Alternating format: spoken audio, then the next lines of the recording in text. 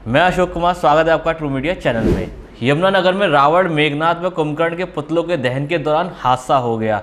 इस दौरान लोग लकड़ी उठाने के लिए अंदर घुसे थे तो जलता पुतला उनके ऊपर ही गिर गया, जिसके कारण वहाँ हड़कंप मच गया। जैसे ही पुतलों का दहन शुरू हुआ तो वातावरण में जय श्री राम के जयकारों के साथ गूंज उठा। रावण के पुतले के दहन के बाद लोग लकड़ी उठाने के लिए अंदर घुस आए।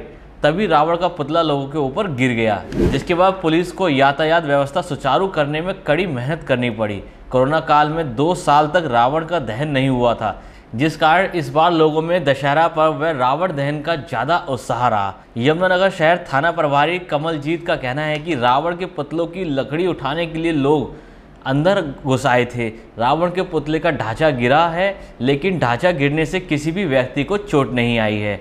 रावण के दहन के बाद मेघनाथ व कुंभकर्ण के पुतले का दहन हुआ।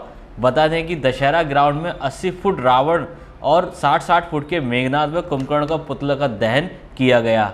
यहाँ पर भारी संख्या में लोग रावण देखने के लिए आए हुए थे। सनातन धर्म सभा की ओर से रावण दहन का कार्यक्रम आयोजित किया गया था। पुलिस प्रवक्ता ने जानकारी देते हुए बताया कि यमुनानगर में दशहरा ग्राउंड में रावण दहन के दौरान लोगों के घायल होने की कुछ मीडिया रिपोर्ट्स गलत हैं। मौके पर तैनात पुलिस अधिकारियों ने पुतले के आसपास जाने की कोशिश कर रहे लोगों को पीछे धकेल दिया। आमजन से अपील की गई बेवजह अफवाहों पर ध्यान न दें। मौके पर पुलिस भी तैनात थी। किसी को कोई भी चोट नहीं लगी। कार्यक्रम के दौरान बिना किसी अप्रिय घटना के यमुनानगर में सभी स्थानों पर पुतला दहन समाप्त हो गया है। तो देखा आपने कि पुतला दहन के दौरान किस तरह से वह पुतला लोगों पर गिर पड़ा। आपको इस वीडियो देखकर कैसा लगा? आप वीडियो कमेंट ज़रूर करके।